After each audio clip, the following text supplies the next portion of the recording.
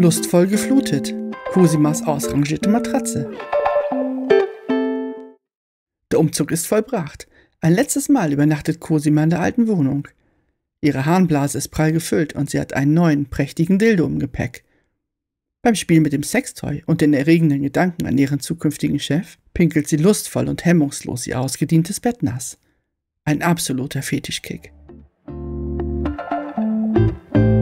Diese und noch viele lustvolle Geschichten mehr findest du frei zum Lesen auf unserer Homepage edition-aurum.de.